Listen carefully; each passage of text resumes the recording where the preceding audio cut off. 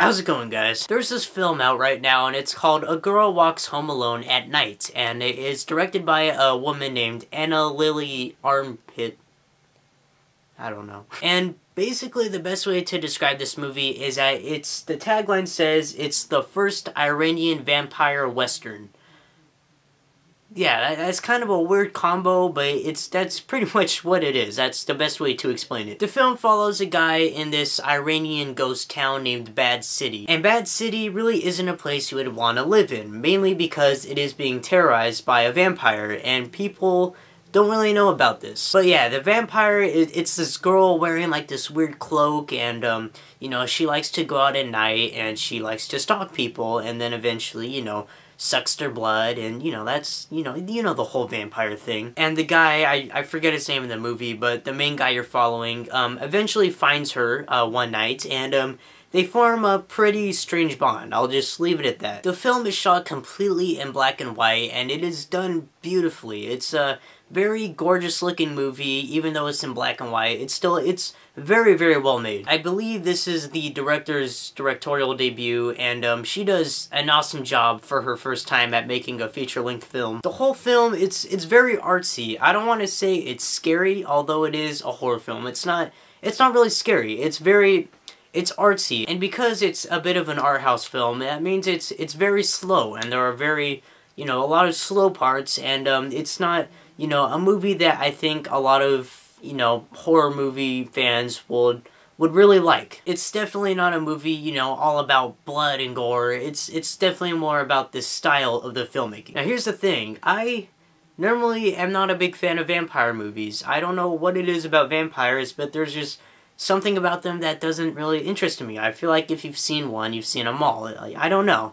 Um, but yeah, I mean, this is, I gotta say, this is one of the best vampire movies I think I've ever seen. I will go as far as saying that, but then again, that's just coming from a guy who doesn't normally like vampire movies. And what makes this vampire film so great is the fact that the vampire, it just, they don't sparkle.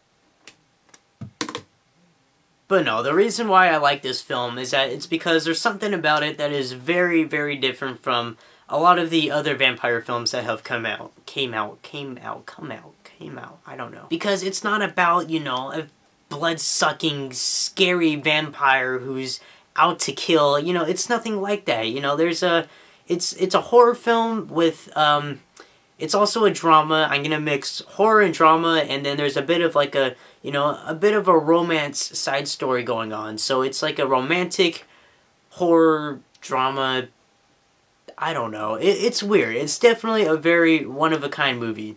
And that's, I think that's why I like it so much and why I appreciate it so much. Is because it's very unique from a lot of the other movies that I've seen. But yes, there is some romance in it. There is, um, I wouldn't say scary parts, but it's, uh, it's I don't really, I really don't know how to explain this movie. I'm having a hard time here. My point is, you should just, just go watch it. It's a very, very great vampire film. Um, definitely, like I said, one of the best I've seen. The cinematography is fantastic. The film looks beautiful in black and white. And, um, there's, I mean, what can you not love about this movie? There's a part where there's a vampire. Did I mention this, that the vampire rides a skateboard? She does. She rides a skateboard. She goes out at night and she, you know, she rides a skateboard. And, you know, she meets her victims, and it's just that's that's cool, man. That's really cool. It's like a cool little touch they added to the movie. Because it's not every day where you get a vampire movie where the vampire skateboards its way to its victim, you know? It's just, it's very unique. It's a very strange, weird, quirky kind of unique movie. Like I said, there's nothing really scary about it. It's not scary at all, but it's very entertaining. I personally really, really enjoyed it, not being a vampire fan, but uh, yeah, hopefully you guys will enjoy it as well. Overall, A Girl Walks Home Alone at Night is a very, very, very well-made film with some great cinematography, and um, it's definitely, it's very unique, and uh, yeah. Overall, I'm going to go ahead and give this film a 4 out of 5. I personally really enjoyed this one. I really liked it. Definitely one of the best horror films I saw in 2014, and um, yeah, I highly recommend it for those of you to check it out. Although, don't expect, you know, it being a flat-out horror film, because it's not. Like I said, it's very different, but, um, you know, that's okay. It's okay to be different. And hopefully you guys will like it as well. Alright guys, that is it for this review. I'm Jacob Palacio. Do not forget to leave a comment down below on what movie I should review next, and I will see you guys later.